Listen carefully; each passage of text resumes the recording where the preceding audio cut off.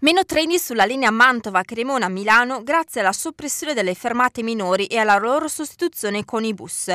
Ecco l'avvenire che il direttore dell'Agenzia di Bacino del Trasporto Pubblico Locale Claudio Cerioli ha prospettato ieri nella Commissione Viabilità del Comune di Cremona per i pendolari. Da un lato Trenord si prepara a tagliare, mentre la nuova agenzia di bacino mantovana, dalla quale Cremona dipende, aumenterebbe i bus sempre che i conti tornino. Ipotesi poco auspicabile per Dario Balotta di Legambiente Lombardia, visto che i bus sono più lenti dei treni e che di conseguenza la sostenibilità economica della linea ferroviaria si farebbe molto difficile.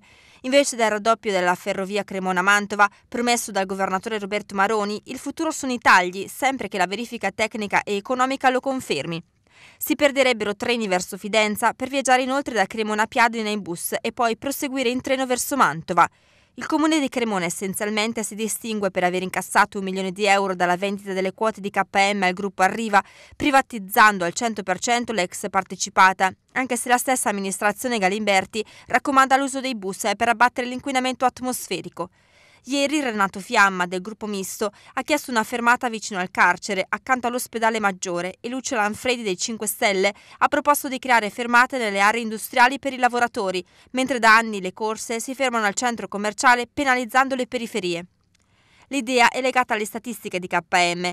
Il 44% dei passeggeri ha età compresa fra i 25 e i 65 anni, i lavoratori sono il 22%, le donne sono oltre due terzi dei viaggiatori, uno su tre invece ha meno di 26 anni. Altra proposta grillina sono i bus per raggiungere l'aeroporto di Linate e Malpensa nei periodi di maggiore frequenza per le vacanze estive.